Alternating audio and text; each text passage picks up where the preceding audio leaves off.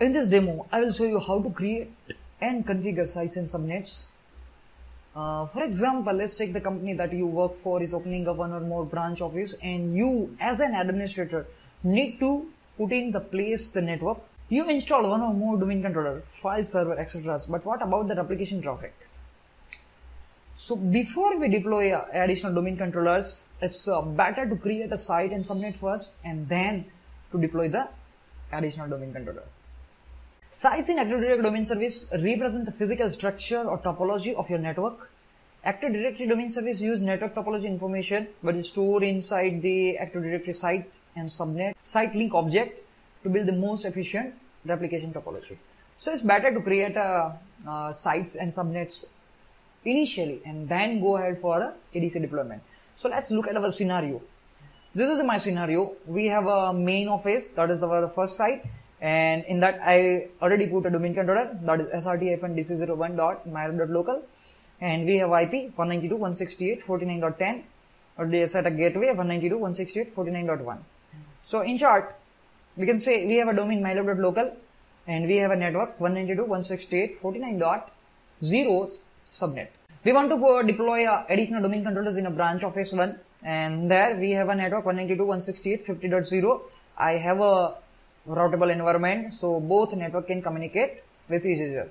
But before deploying uh, additional domain controller on uh, this server I want to make sure that initially first I want to create uh, the sites and subnet and then I will go for the additional domain, domain controller deployment. So let's do that.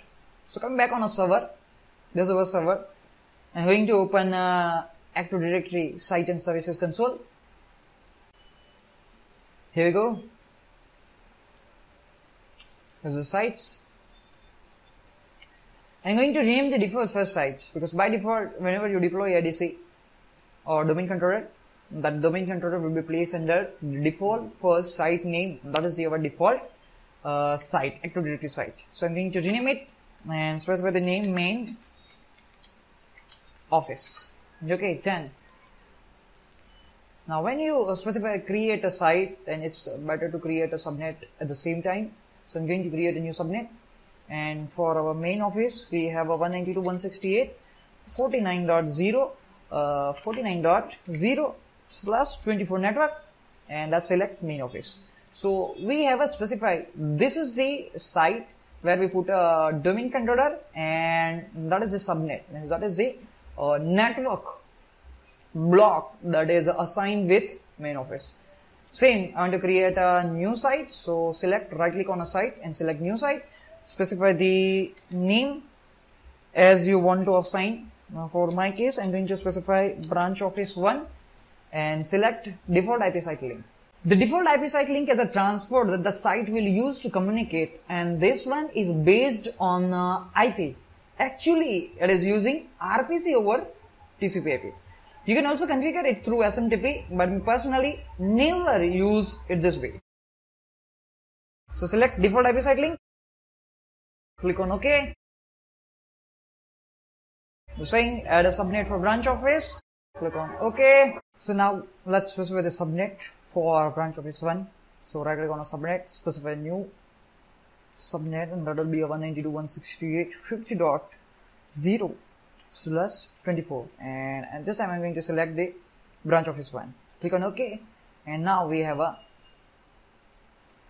the branch office. And that is also associated with the uh, subnet 192.168.50.0 so now we have uh, two sites uh, associated subnets. And then you can proceed to install the additional domain controller inside the your branch office. So in the next video we'll see how to install additional domain controller using IFM media. So in that video, we'll create a first IFM media on a main office server and then we'll copy to branch office server and then we'll install a, uh, additional domain controller on a branch office server by using IFM media. So thanks for watching this video.